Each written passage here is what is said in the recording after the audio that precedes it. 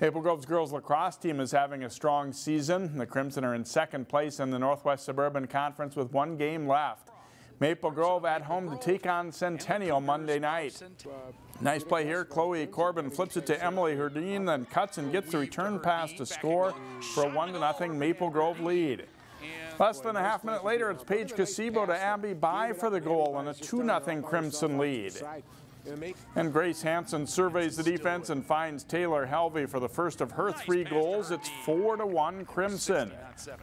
Herdine scoops it up, makes a hesitation move, and then buries the tough angle shot for a 7 to 2 lead. It's 7 4 Crimson at the half.